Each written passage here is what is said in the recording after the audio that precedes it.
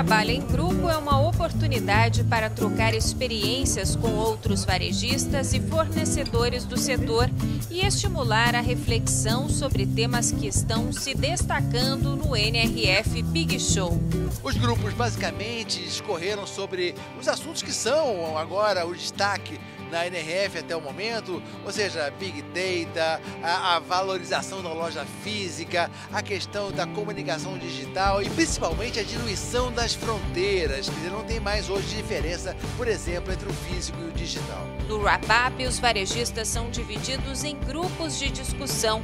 Cada grupo tem um tema definido e os integrantes têm uma hora para debater e dois minutos para apresentar a síntese do que foi abordado. Há 10 anos, praticamente, eu venho para a NRF todo ano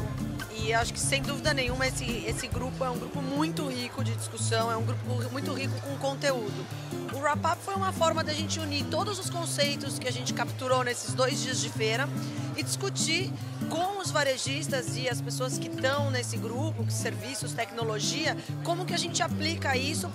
curto prazo, quer dizer, como é que nós vamos usar tudo que a gente aprendeu em 2015. Então eu entendo que tem sido muito rico, as palestras têm sido muito boas durante o dia e a interação desse grupo tem sido muito produtiva.